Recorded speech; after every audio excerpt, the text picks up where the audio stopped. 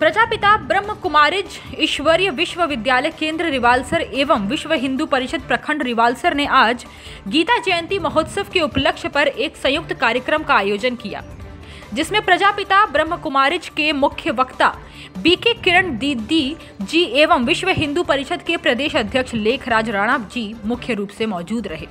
इस अवसर पर इनके साथ कर्नल प्रताप सिंह भी मौजूद रहे।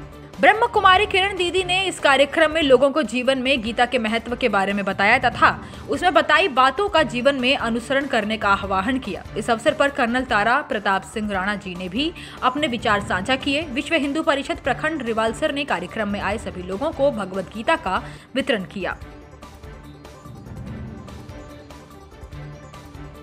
रूप से जयंती मना रहे। हम सब जानते हैं कुरुक्षेत्र के मैदान में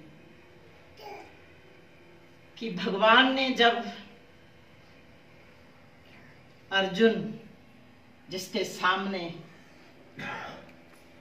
सभी अपने रिश्ते नाते एक दुश्मन के रूप में देख रहा था और उस समय उसने अपने हथियार उठाने से इनकार कर दिया।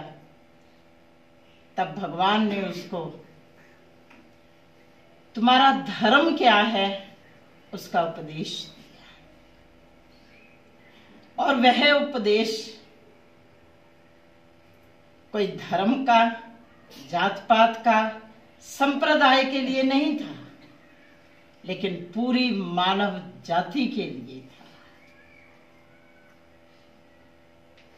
गीता से ही जो लिखा हुआ है कि आज से परमात्मा पिता ने कहा है कि आज से पाँच हज़ार वर्ष पहले मैंने ये गीता का ज्ञान स्वयं आकर दिया था और आज भी दे रहा हूँ।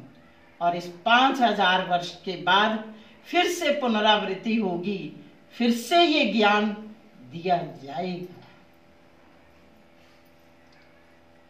आखिर भगवान ने इसमें जो कर्मों की गुह गति समझाते हुए अर्जुन को कहा कि जब तक कर्म श्रेष्ठ हमारे नहीं होते हैं, धर्म श्रेष्ठ नहीं होते हैं, जब मानव ये समझने लग जाता है और उसके जीवन में पुण्य होने लगते हैं तो उसका जीवन अवश्य ही बहुत सहजता से सार्थक होने लगता है। उस हिमाचल प्लस न्यूज़ के लिए रिवालसर से ओम प्रकाश की रिपोर्ट।